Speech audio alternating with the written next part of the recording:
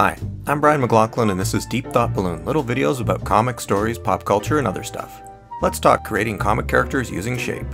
In my book, Draw Out the Story 10 Secrets to Creating Your Own Comics, I shared these shapes. A sun, sunflower, or maybe one of those blue ribbons you win at the fair, a pair of lips, and basically a lumpy circle, or Saturn shape. Each of these is also the shape of a famous cartoon character, Lisa Simpson, Dora the Explorer, and Charlie Brown, also Caillou.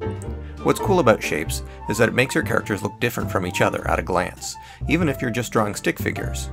And it helps make them look different from other people's characters as well, like how these are all cartoon kids, but you wouldn't confuse them. They don't really belong in each other's worlds. It helps you define your own style. Now, no kid's head is actually shaped like this, but it works to separate them from each other and their neighbors. Cartooning involves a lot of redrawing, so keeping your characters simple and easy to remember how to draw makes finishing a comic that much easier. Those examples use shapes for heads, but you can use a shape for an entire body if you want. Use any shape and make it your own. Go wild. Use squares, stars, lumps, or shapes you don't even have a proper name for. Since my book came out, I had a big revelation. Those shapes I chose as examples also mean something. Whether the creators intended it or it was subconscious, all of those shapes help tell you about those characters. Maybe that's why the characters stick with us so well. Lisa Simpson is bright like the sun. She's the smartest, brightest member of her family and kid in her school. She grows taller than all the other flowers planted at the same time, like a sunflower. She wins blue ribbons at the science fair, Model UN, or whatever she participates in. Dora the Explorer teaches you to use your lips to speak Spanish. She teaches kids to use their voice to stand up to bullies, asking kids to actually talk to the TV and say swipe or no swiping. Dora is lips that teach you to talk. And Charlie Brown, despite being called a blockhead, is the kind of guy who's had all of his hard edges removed. Him and Caillou aren't sharp and dangerous. But I guess more importantly, it helps them look like an emoji, a generic everyman, a Joe Blow, a Charlie Brown, because they're the character we're supposed to identify with.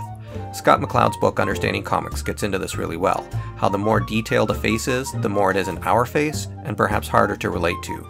And the book is an essential read. If you're thinking that you make more serious comics, and this is kid stuff, look at Chris Ware's Jimmy Corrigan book. Notice the white triangle on the cover? Jimmy wears a v-neck with a white undershirt underneath for most of the book. Why? Because he's looking for his birth father, who he thinks is the actor who played Superman on TV. It's a blank spot waiting to be filled by a Superman logo, which he gets when he reconnects with his family. Spoiler alert, when he meets them, it turns out it's not a good fit, and he goes back to the blank triangle, but he adds a jaunty scarf like a touch of Superman's red cape because he's taking a little of that Superman energy, but not copying it directly. So if you're looking for a way to give your characters a dynamic look, think about the shapes you can give your main characters to subconsciously suggest what they're all about. Think about pairing opposite shapes and personalities to show the conflict that's going to be at the heart of your story. Good luck and keep thinking deep thought balloon.